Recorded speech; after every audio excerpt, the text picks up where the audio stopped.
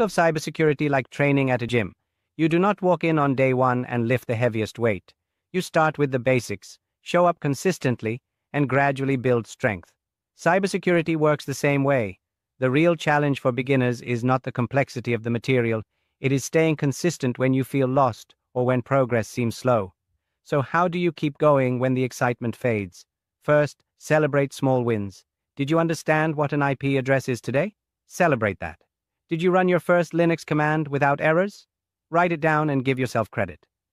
These small steps are the foundation of bigger breakthroughs. Second, set realistic goals. Instead of saying, I will master cybersecurity this year, break it down. This week, I will practice Linux commands for 20 minutes a day. Small, repeatable actions beat giant, unsustainable ones. Third, stay connected with a community.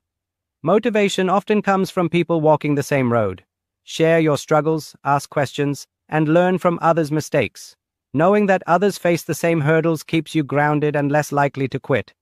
And finally, remind yourself why you are here. Are you looking for a stable career? Do you want to protect data and defend systems? Do you simply love solving puzzles?